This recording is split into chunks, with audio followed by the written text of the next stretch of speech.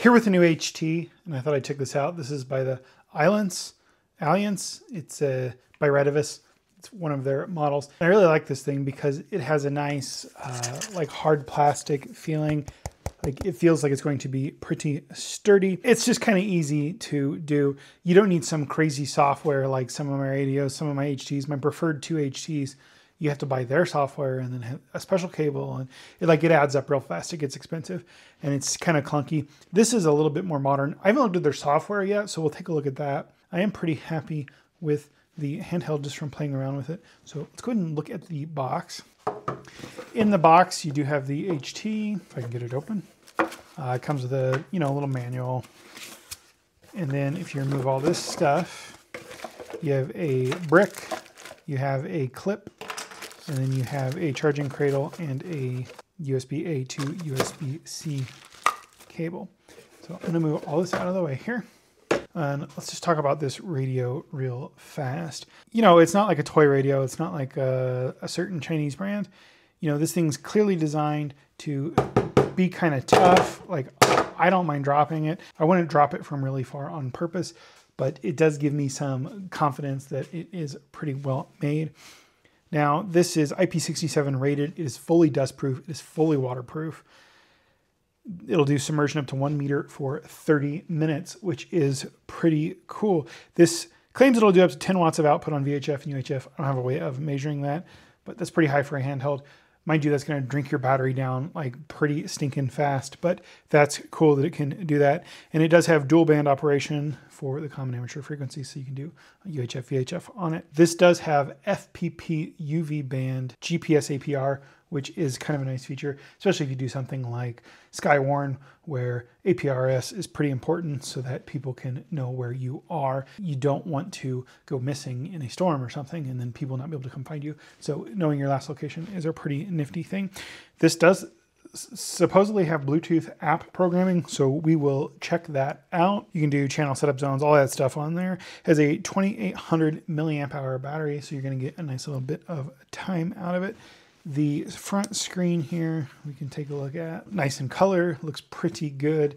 Has um, It just looks nice and it's pretty simple and you actually have a menu button so you can go into the menu there and see things.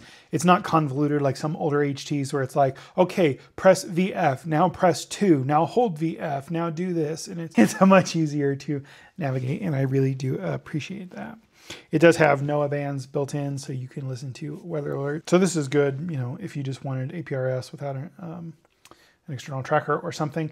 If you just wanted to take this backpacking off grid, you know, just so you had a way to hit the bands, just in case you needed to. It, it feels really rugged and doesn't feel like a hobby radio. My other HT, which we're going to use to test this, just feels kind of uh, fragile is, is a good way to say it. Unfortunately, out here, there's not a lot of places where I can use this just to talk to people. I'm way out of range of a repeater. There's actually a monument in the way.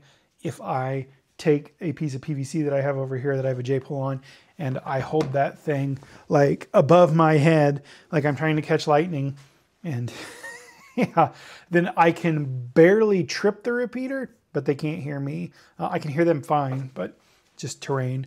I live in Monument Valley and we've got giant rocks that get pretty tall in the way. And their repeater's actually pretty far away. Fortunately, my wife is licensed. She doesn't want to appear on camera or even in voice for the video. So I have a way that I'm going to, I'm going to go call CQ on my other radio. And if we just happen to pick it up on this radio, there we go. It's priced really aggressive and they do have, I think like um, volume discounts. I believe that's what I saw. If you buy like four or something, then they I get really, really affordable. It's a pretty cool radio. So first, let's go ahead and do um, do a listen. There we go. We're on. We'll set that there. I'm going to take my microphone off so it doesn't get out of range. CQ, CQ, this is Kilo 9 Tiger Whiskey Charlie calling CQ. I'm a and if you're here on vacation, I'd love to have a chat. Unfortunately, on my little break there with the uh, other HT, I called CQ and no one was listening, but back to talking about this. Let's go ahead and get the app set up and stuff. Before I go ahead and do the Bluetooth, I will show you that this does have uh, FM radio and weather. I don't know any of the stations out here because we've only lived here six months and who listens to terrestrial radio, but that's pretty cool. Uh, So it looks like they do have a Bluetooth thing here. I've installed Retevis's app. I'm just going through the screens. Allow, add radio. Ailunce HA2 right at the top. Let me show you that actually. So you do, if I quit pressing it, so it shows the radio. It looks like three other radios work in here, but this is the HA2, which is what we have. So it says not connected. I'm going to go to the Bluetooth. We're going to hit select, and I'm just figuring out how to do that on the thing here. There we go. Let me show you that. So if you come into the settings on the Bluetooth, then you can go to Bluetooth power, the menu button.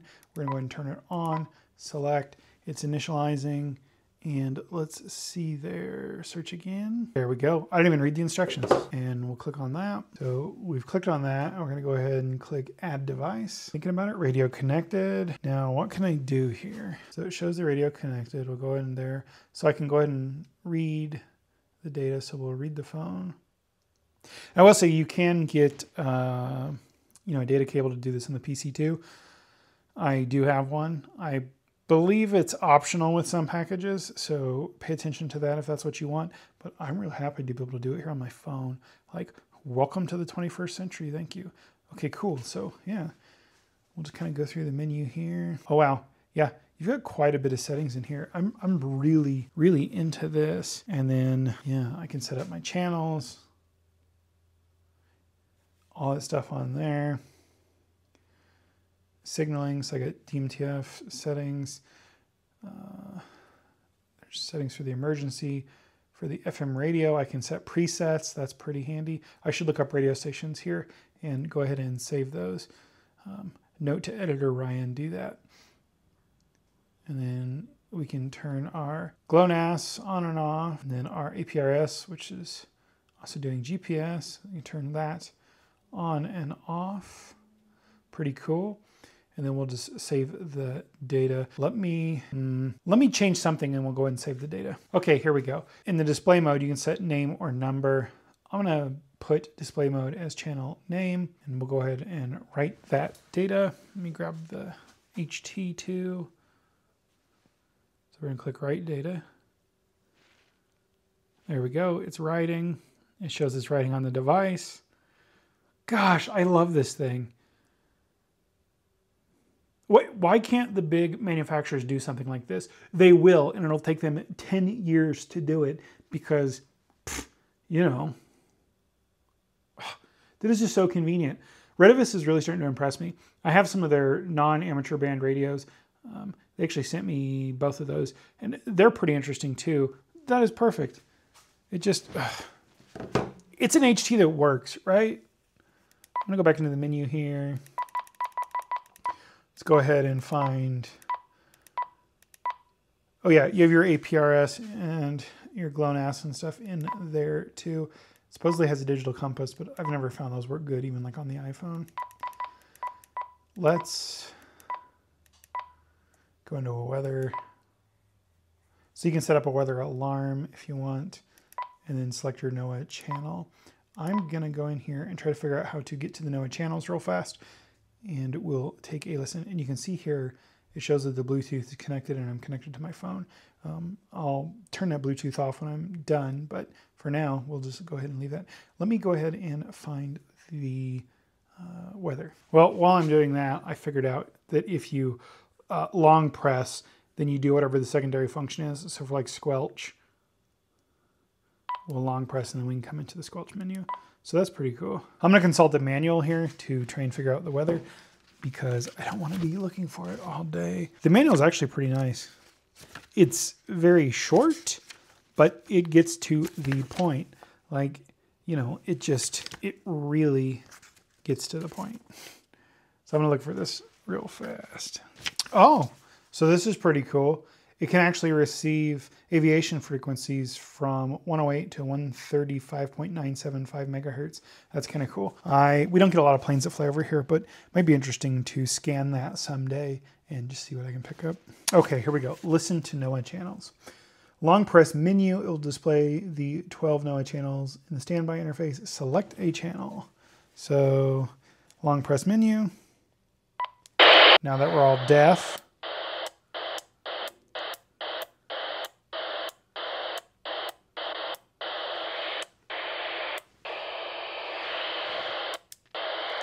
I may not actually pick up any of the NOAA channels here. I'm going to go outside real fast and see if maybe the garage door is blocking them, but I guess I've never really looked that up. I'll do a Google search real fast too and see if I can find out what ones cover this area. Again, we have monuments there. There's a giant one right there too. So, you know, I could be having this signal blocked. So it might not be the best for my use here, but you're probably not going to have giant rocks. and uh, we have a volcanic plug down the road. Um, it's called El Capitan locally. It's got another name, Agatha, Agartha, something. But yeah, we just live in a weird area. So let me go test that outside real fast. I realized something here. We do have a metal roof.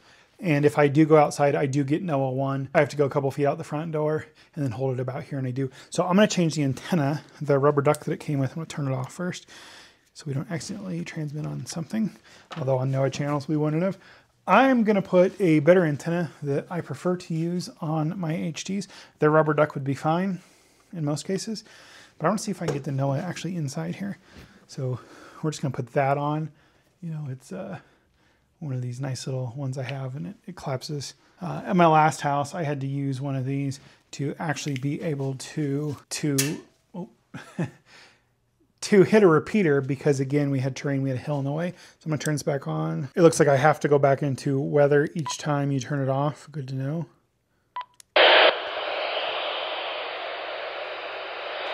Yeah, so I just don't, I don't pick up NOAA in here. Again, you know, the garage door is right here. The roof is metal. Keep that in mind if you can't pick up the weather. Again, 90% of the people watching this aren't to live as rural as I do. And like I said, even outside, it was kind of staticky. And that's not a fault of the radio. That's just terrain. Oh, we don't really ever have severe weather here. We have had two tornadoes in the county in the six months we've lived here, five months we've lived here. It's kind of rare, but the county's also freaking huge. Actually, the guy right across the street got really good footage of one of the tornadoes when he was somewhere uh, a little bit north of us, about a half hour north of us. It was on the ground for like an hour or something. It wasn't crazy powerful. It was like an F1, but coming from the Midwest where I used to do Skywarn and stuff, you know, pretty, pretty, pretty cool. I, I, really like this thing. And that rubber duck was fine too, but I actually kind of like the way that looks on it.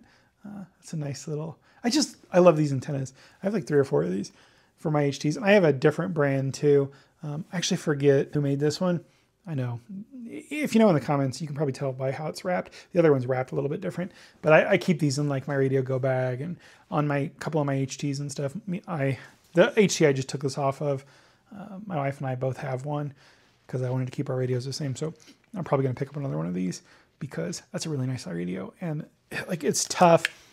You know, once I screw this on, it'll be nice and it has like a lug over here so you could like do like a lanyard probably or something if you didn't want the clip on the back. It does have a USB-C straight into it or it has the, uh, you know, the dock, the cradle.